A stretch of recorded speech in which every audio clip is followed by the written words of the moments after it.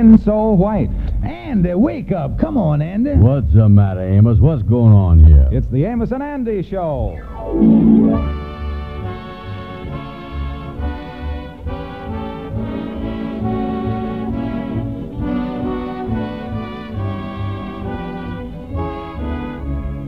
Yes, the makers of the new Rinso bring you the Amos and Andy Show with their guest for tonight, whom you have seen in The Mask of Dimitrios, the celebrated star, Sydney Greenstreet.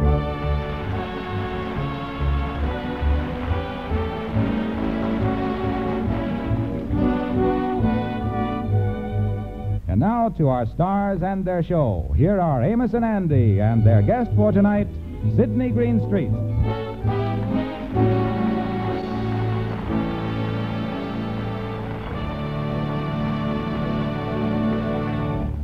If it weren't for the fact that so many events of worldwide importance were being featured in the newspapers these days, all New York's latest editions would probably carry headlines such as this George Kingfish Stevens goes to work. Yes, the Kingfish has gotten a job as doorman at one of the big downtown hotels. And at the moment, he's down there talking to the desk clerk. Uh, you want to see me, Mr. Morton? Yes, Stevens. You probably know we're short a bellhop. Yeah. Now, uh, you being the doorman here, I was wondering if you might have a friend or know somebody who might want the job. Uh, bellhop, huh? Well, I don't know nobody offhand, Mr. Morton. Well, we really need somebody awfully bad. Uh, sorry I can't help you. Well, if you get me somebody, I'll give you a $5 bonus. I know just the man. Uh, Well, good. Uh, of course, this fella never carried no baggage before. He never lifted nothing heavier than a pool cue. Well, uh. then you think he'd be willing to take this job as a bellhop? Well, uh, I'm going to have to think of something else to call the job. If I was to ask him cold turkey if he wanted a job as a bellhop, I think he'd say no. Uh, what I'm going to have to do is put a little dressing on the turkey.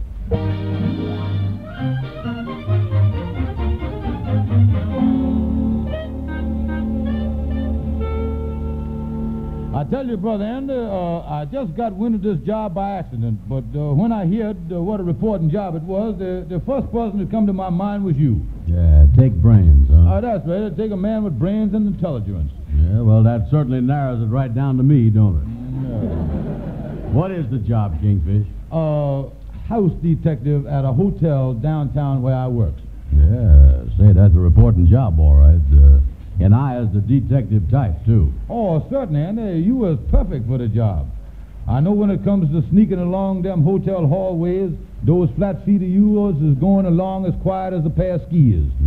Yeah. I'll take the job. Oh, good. Uh, glad to have you with us, Andy. And uh, by the way, Andy, one little thing that I forgot to mention to you. Yeah, what's that? Uh, on this job, uh, you ain't gonna be dressed like no ordinary house detective, so that everybody gonna recognize you. Oh, I ain't? Oh no, you gonna be Secret Service. Yeah. You mean I gonna be disguised? Uh, yeah, you gonna be disguised as a bellhop. Yeah, but I was really a house detective, though. Oh, certainly, yeah. And you know, Andy, to make the disguise even better, we gonna have you carrying suitcases and ice water and trunks all over the hotel, just so ain't nobody gonna even suspect you being a house detective. Mm, we ain't carrying this disguise too far, is we? Oh no. Yeah, well, in that case, you think maybe I ought to scout around and get a mustache or whiskers or something like that to disguise me even more? No, Andy, you don't need it. You is gonna have all the disguise you can carry. Okay, Kingfish, I'll be there.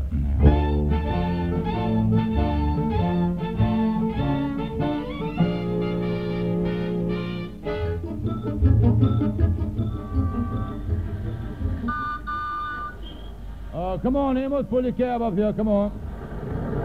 Uh, got a passenger for you from the hotel, Amos. Uh, he'll be down in a couple of minutes. Oh, thank you, Kingfish. Say, that was a good suggestion of yours, keeping my taxi cab in front of the hotel here. You sure been throwing me a lot of business. Yeah, say, Amos, uh, look at Andy coming out the entrance over there with them two suitcases. Yeah, they sure working him on this job, ain't they? Them suitcases look more like trunks to me. Yeah, well, I got to get on in the lobby and see if anything going on. How are you there, Andy? Yeah, there's Amos there with the cab right there. Yeah, right, right. Hello, Amos. Hello. Oh, me. Let me put these suitcases on the sidewalk here. They're tearing my arms out. They sure keeping you busy in that bellhop job, ain't they, Andy? Uh, you really think I was a bellhop here, don't you, Amos? Yeah, sure. Look that way to me. Boy, what a disguise. You talk like you ain't, and Uh, what else is you supposed to be doing? Well, I can't tell you, Amos, but I guarantee you, if I stay on this job, I'm going to be famous. Oh, speaking of famous, this hotel uh, got a little famous today, too. What you mean? Well, you remember that big $150,000 bank robbery that happened the other day? It was in all the papers. Yeah, I done read about it. Yeah, well, it uh, seemed that this morning one of the bills turned up here at this hotel desk. Uh, the bank had the serial number, you know. Oh, turned up here, huh? Yeah, so they know that one of the guests at the hotel here must be the crook. It does, huh? Well, look like I'm finally going to get into action here and do what I'm supposed to be doing. Keyholes, here I come. Hey, Brown. Uh, yeah, uh, excuse me, Amos. The desk clerk wants to see me. Yeah, okay, go ahead. Uh, coming right over, Mr. Morton. Coming over. I want to get right on the job here, and you can tell the newspapers that I'll crack this case within 24 hours. Well, I don't know what you're talking about. Here, take these newspapers up to Mr. Sydney Greenstreet in room 576. Now get going. Uh,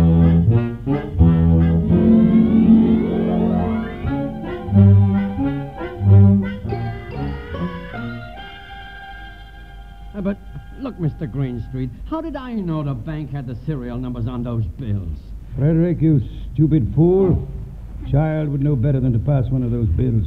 Look, boss, I'm sorry. I made a mistake. Well, make sure it's your last mistake, or I may have to dispense with your services in a manner which would pain both of us, you particularly.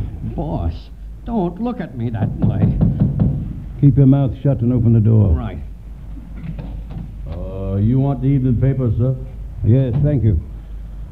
Frederick, pay the man for the papers. You know, I was just reading in the papers on the way up about them finding one of the stolen bills from the bank robbery right here in this hotel. Oh, yes? Uh, yes, sir. And the elevator boy was telling me on the way up that the cops is in the hotel watching all the exits and they're searching all the rooms. Hey, boss, I got an idea. Frederick, silence. I think the police is going to be a lot of help to me in cracking this case. Did I understand you to say the police will be of help to you? Uh, yes, sir. Yes, sir. You see, uh, Mr. Greenstreet, I ain't really no bellhop. I, I happen to be the Secret Service house detective here. Hey, boss, why don't you let me... Frederick, go on, my man. You say you're a Secret Service house detective. Uh, yes, sir. Ain't nobody knows it, but there ain't nothing wrong in me telling you, 'cause I can see you as the honest type us pudgy peoples always is. Well, I sincerely hope that nothing will happen to make you doubt my honesty. Uh, So you're the house detective. That must be difficult to work. Well, if you can lug suitcases, you was over the biggest hump. Oh, I see. But I wonder if you could do a service for me. In about five minutes, I will have a package that I wish mailed. Would you come back then and attend to mailing it for me? Uh, yes, sir. I'll be back. Hey, boss, boss, what, we, we got to get out of here. What are you going to do, huh? We're not getting out of here. But only arouse suspicion. We're getting the money out of here. And right under the very noses of the police. You mean you're going to mail it? Yes, wrap it at once. We're going to mail it special delivery to our downtown address.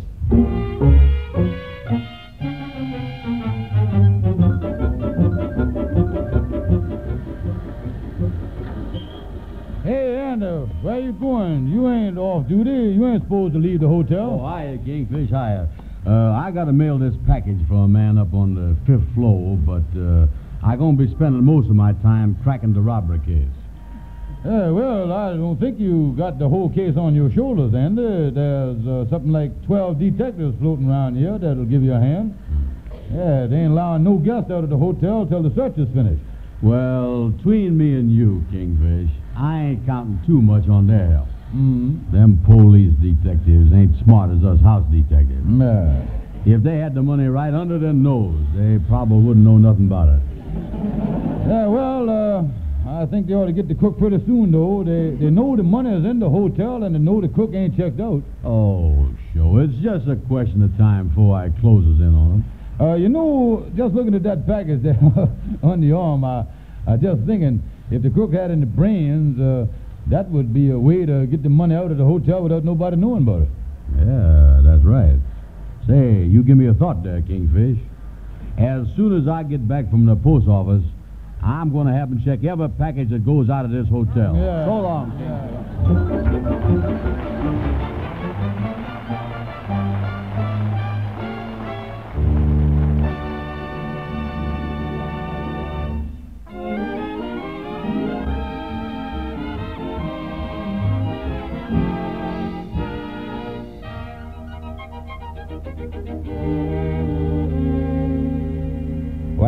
Andy is still under the impression that he's a house detective, but he's had to spend so much time keeping up his disguise as a bellhop that he arrived at the post office with the fateful package, only to find that it was closed for the night.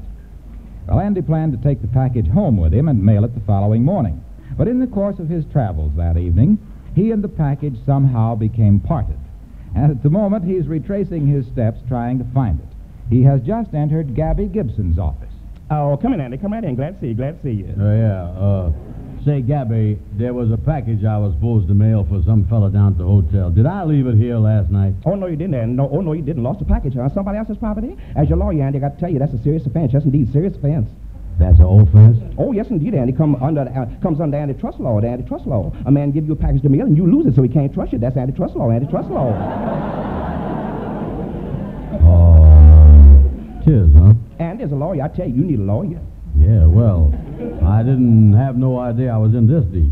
What must I do, Gabby? Well, I'm going to build a defense for you, and they're Going to build a defense. First thing we got to do is get a description of the package. Then we get witnesses to identify the package you never had so they can go to court, swear you never had it. That's airtight. That's airtight. Then we get more witnesses, more witnesses. Swear that you wasn't at the scene of the crime. Swear that you was in Buffalo, in Buffalo. Then we get Buffalo to identify you. That's even more airtight. Ain't no air getting this case at all. Then it's a clincher, when they punch holes in it, show that you wasn't in Buffalo, we brings in witness to prove that you was really in Chicago, and we works west from there.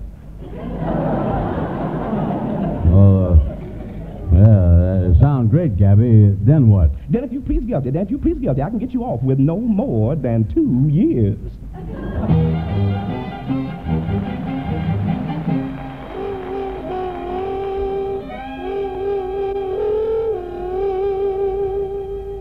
Uh, you see, officer, the reason I come to the police station is because last night I drove this friend of mine, Andy Brown, from the hotel back up to Harlem. You mean the hotel where we traced the money? Uh, yeah, sir, that's it.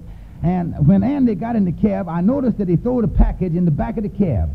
And then he done forgot to, uh, to take it out when I dropped him off. Hmm. And this is the package he left in the cab. Yes, sir. Yes, it must have been bouncing around in the back of there because when I found it, uh, the corner of the package was busted open and I could see there was a lot of money in it. And the address was all chewed off of it from getting knocked around in the cab, you see. Well, you did right in bringing it to the police station. Yes, I, I tried looking around for Andy Brown, but when I couldn't find him right away, I, I kind of got scared, mister, with all this money, so that, that's why I brought it here. You're sure this Andy Brown didn't know what he was mailing? Uh, no, sir, no, sir. I, I give you my word of honor, mister. I, I, he wouldn't do nothing like that. Mm-hmm. You seem to be a good friend of Brown's. Oh, yes, sir. Yes, I've known him for a long time, mister. I've known him for years and years. He's my best friend I got. Well, tell me, uh, do you know where Brown lives? Oh, yes, sir, yes, sir. No, that's fine, that's fine. Uh, I don't want you to go near him. You stay here with us because we want to... Well, Mr. Greenstreet, I was down to the post office, and they said nothing doing. You mean there was no record of a special delivery package having been mailed last night? Nah. And they said even if it was mailed regular, we should have got it in this morning's mail. In other words, the package was never mailed. Frederick, what was the name of the lodge hall that fool mentioned? Uh, the Mystic Knights of the Sea.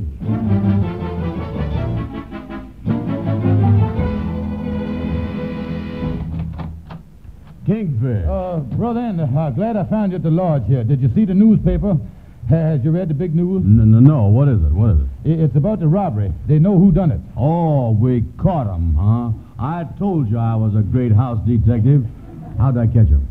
Yeah, well, he ain't caught yet, Andy, but they know who he is. Yeah, well, that sure I'm making headway. Uh, who is he? Uh, the fellow that was in room 576 at the hotel, a man by the name of Sydney Greenstreet. Yeah, well, Mr. Greenstreet, is you sure? That's right, Andy. Well, I finally closed in on him. Uh, listen, uh, hear what it say in the newspaper here. Now listen to this. Yeah. Say a new clue has definitely been established that the man who robbed the bank of $150,000 is a Sydney Greenstreet. It has also been revealed that an employee of the hotel had unwittingly carried the money out. Hmm, carried it out, huh? I'd sure like to get my hands on the ignorant bum that done that. Well, Brother Andy, just grab yourself by the coat collar and the seat of your pants and you got him. That's what. What? What you, you mean that package that I have? That was the money? Oh, me. Yeah, but get a load of what the paper say about the fellow Greenstreet. Now listen to this. Yeah. They say here, Greenstreet on the basis of his record, is no ordinary lawbreaker. He is a psychopathic criminal who robs and even kills for the mere thrill of it. Do that mean he liked to kill people? And uh, he kills people the same way you eat ice cream. You mean with a spoon? No, no, Andy. Uh, uh, tell me, where's the package now? That's what we got to find out. Now, don't let's talk. Let, let's get the package. That's what I want. Well, I don't know, Kingfish. I don't know. I was too late to mail it, and I forgot it someplace. I don't know where it is. Oh, that's bad. The man gonna be after you, Andy, and hanging around this lodge hall here ain't, ain't gonna be safe for you. Look here, you better call up somebody and see if you can't uh, get a place to stay for the next couple of days. In the meantime, I'll go down in the basement and see if I can find an iron pipe or something to protect yourself with. At least you can go down slugging. Yeah, okay, Kingfish. Hurry back. Hurry back. Uh, how you, Gabby? Uh, excuse me, I'm in a hurry. Oh, hi, Kingfish. Oh, hello, Andy. I got your case all set. Yes, indeed, it's all set. Yeah, say, Gabby, you know what was in that package? A hundred and fifty thousand dollars in stolen money. I withdraw from the case. Oh, me. I gotta find a place to hide. Psychopathic criminal. Oh, the kingfish say he killed for the thrill of it. Kill like I eat ice cream.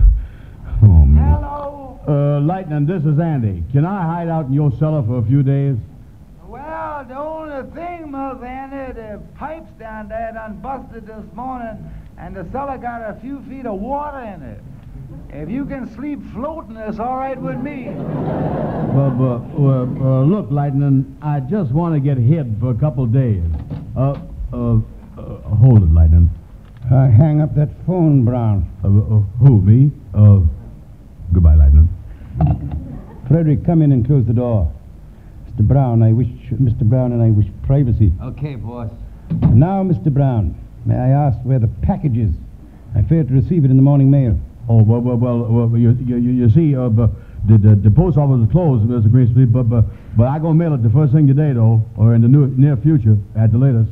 Uh, I'll save you that trouble. Where is the package? Uh, uh, the package. Uh, you mean the same package uh, we was talking about? You heard him. Where's the package? Uh, uh, well, it's, uh, it's in, my, in my room at the boarding house. Yes, it, that's where it is. Uh, I, I'll go get it for you. I'll go get Frederick will get it. What's your address? it. Uh, well, uh, let me see. Oh, me, what is that? I, I know the first two numbers is the size of my shoes. That's 12. Oh, I can't seem to remember. Would you like Frederick to help you remember it? Uh, 128 West 125th Street. Yes, uh, Frederick, get the package and bring it back here with all possible haste. Okay, Mr. Greenstreet. Brown, do you mind if I sit down? No, no, no, no, sir. No, uh, here, uh, let me hang up your hat and gun. I'll keep my gun, thank you. I see you have the newspaper there, Brown. By now, I'm sure you know what was in that package and who I really am. Uh, yes, a nice write-up they give you there. Hmm. Brown, where are you going? Sit down. Uh, yeah, yes, sir, yes, sir, yes, sir. Brown, you're acting very strangely. Are you frightened? Oh, who, me? a little. When a man becomes entangled in my affairs as you have, he must either be of service to me or be eliminated quickly, finally. You must die. Die? Who, uh, me die? Oh, uh, Mr. Greenstreet, Brown, I please. detest whimpering. It only upsets me. Uh, yes, well, Mr. Greenstreet, you, you, you say something about me being service to you. Uh, uh, instead of doing what you're thinking of doing, why can't I join up with you? You join up with me. Yes, sir, yes, sir. You know, I was a robber and a killer myself, just like you is. Yeah, yes, sir. I, I is psychopathic and everything else. Yes. Oh, you're a psychopathic case. Oh, yes, sir. Why, why, I eat ice cream just for the thrill of it. Yes. Brown, how could I ever depend upon your loyalty? Oh, you could depend on me. Yes, sir, Mr. Greenstreet. Uh, If two killers like us can't treat each other, uh, I don't know who cares. Ridiculous. I hope Frederick doesn't waste time getting that package. Oh, yeah, that package. Uh, Mr. Greenstreet, uh, in case he don't find that package in my room, uh, I just remembered there've been a lot of robberies in my neighborhood. Uh, the money might have been stolen by some crook. What's that you say? Uh, well, I... Uh, say, and uh, I couldn't find no iron pipe, but I found a baseball bat. Uh, oh, I didn't know you had company. Mr. Brown, if this is a friend of yours, ask him to sit down. Oh, yes, sir. Sit down, Kingfish. Yeah, oh, that's all right. You see, Mr. Uh, Andy here expecting trouble from a man, a fellow by the name of Greenstreet. Uh, the fellow's a killer. Uh, anyway, I got this baseball bat, so in case he meet up with Greenstreet, he can slug him with it, you know, uh, kind of pop him over the head, knock him cold. Uh, but, uh, Kingfish, uh, Uh, pardon me, mister, I, I didn't catch your name. My name is Greenstreet. Yeah, well, it's nice to know. I think I hear somebody call me in the hall. I'll be right back. See you boys later. Sit down. Oh, yassa, yassa, sitting down, sitting down, sitting down. Unfortunately, now you have become entangled in my affairs, too. Oh, yassa, glad to be of service to you, yassa. I'm deeply moved by these kind offers I've been receiving in the last few minutes. By the way, Mr. Brown, you're suggesting joining my staff. I think this provides an excellent opportunity to test your dependability and loyalty. uh, yes, uh, yes, yes, I'll work with you, I'll work with you. I have two guns here, one of which you can feel in your back. Uh, yeah.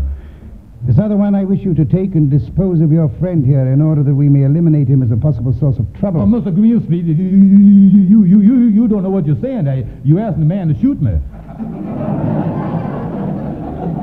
Brown, here's my gun. Now do what you're told. Well, well, look, Mr. Greenstreet, I, I, I don't mind shooting. I, no, sir, I, being a psychopathic and all that, there, ain't nothing I'd rather do in my spare time or kill somebody. But, but this man, this man here, well, but that's my best friend. I, I'd sooner shoot myself than shoot him. Uh, yeah, that's right, and to do that. Uh, uh, uh, look, Mr. Greenstreet, Brown, I'm waiting. yes, sir. and I might add that I am of an impatient nature. Yeah, but, but Mr. Greenstreet, I, I, I ain't done nothing. But you know too much, and you must be silenced. And I'm giving Brown this opportunity to show his unwavering loyalty. Yeah, so, well, I can wave a little loyalty around myself, you know. I can wave that stuff. Indeed. Tell me then, would you be willing to prove your loyalty by killing Brown here? I'll be happy to do it, Mr. Greenstreet. Glad to do it, yeah. Uh, wait, wait, wait, let's go back to the old way here. Gentlemen, gentlemen, please, no quibbling. That must be Frederick with the package. Brown, give me that gun. Oh, yeah, yes, sir, yes, sir. Uh, look, Mr. Greenstreet, in case Frederick ain't got the package like I told you. Here's the I- package, boss. I'll unwrap it. It was in his room, all right. uh, it was? Didn't you expect it to be? Well, Where's the money? oh, ain't it in there? There's nothing in it but strips of newspaper. Brown, my patience is at an end. I will give you exactly five seconds by my watch to tell me where the money is. But, Mr. Greenstreet... I said five seconds, you have three left. Uh, Mr. Greenstreet, please. Yeah, Mr. Greenstreet. All right, hands up, everybody. Well, you got them both, huh? Yeah, where did them shots come from? Where'd they come from? Yeah, they, were- they was uh, supposed to shoot us. Lucky I posted that man at the window on the way in. Good work, Mike. Looks like you got Greenstreet in the arm. Yes, sir. Poor shot, I would say. I see you've done a little better with Frederick. And uh, you and the Kingfish are... Amos, what did you doing in here? Uh, yeah, Amos. Yeah, you brung the police just in the nick of time, Yeah, well, I found the package you left in the cab, and I took it to the police, and they planned the whole trap, Andy. Yes, with your help, Jones. Well, Greenstreet, I guess this washes up both you and your pal here. Come on, let's get going. Yeah, that's right. Get them killers out of here. Yeah, get them out of here before I start slapping them around. What was that? Uh, hold him, officer. Hold him, hold him, officer. Hold him, hold him, officer. I see you're not as hospitable as you were, gentlemen. Officer, it might interest you to know that these two men have confessed to me that they're the worst psychopathic kill killers of all time. Oh, well, wait a minute, officer. We was only Uh, kidding. yeah, yeah, yes, officer. We even hates ice cream.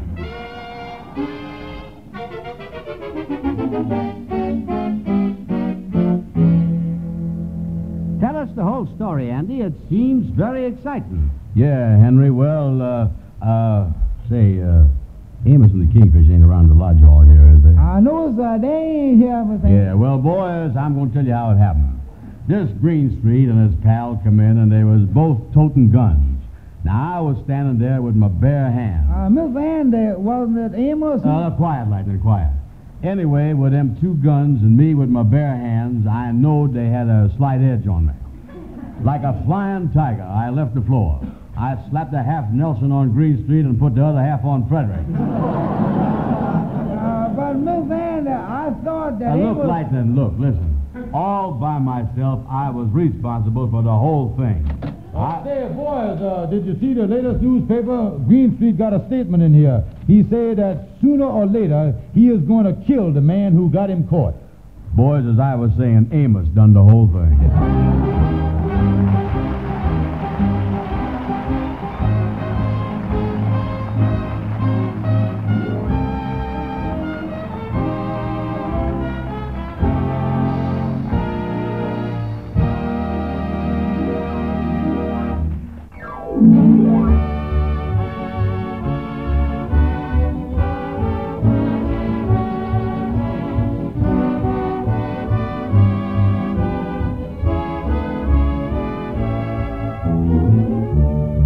Be sure to be with us again next Friday evening at this same time when Amos and Andy will have as their guest Mr. Gregory Ratoff.